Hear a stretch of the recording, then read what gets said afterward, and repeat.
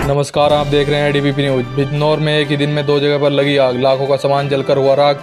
जी हाँ, आपको बता दें कि जनपद बिजनौर शहर के सिविल लाइन में एक दुकान में आग लग जाने से दुकान में रखा लाखों का सामान जलकर राख हो गया। आपको यह भी बता दें कि सिविल लाइन में चौधरी मार्केट में संघर्ष राणा की कपड़े की दुकान में सोमवार को शॉर्ट सर्किट से आग लग गई।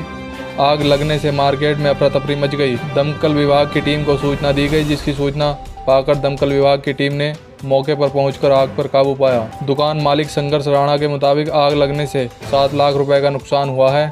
वहीं आपको बता दें कि बिजनौर में नजेवाद मार्ग पर स्वंबर बैंकट हॉल में कोई समारोह चल रहा था। वहीं हॉल के बाहर एक कार खड़ी थी जिसमें अचानक से आग लग गई, जिसको देखकर आसपास के लोग इकट्ठा हो गए और उन्होंने आग पर काबू पाया।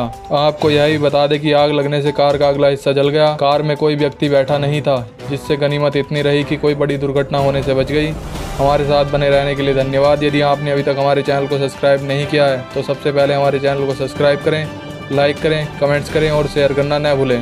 नमस्कार। नमस्कार। अगर आप healthy tasty and vegetarian food खाने के शौकीन हैं तो प्लीज़ सब्सक्राइब कीजिए मेरे यूट्यूब चैनल को। My channel name is with Sunita Chikara धन्यवाद।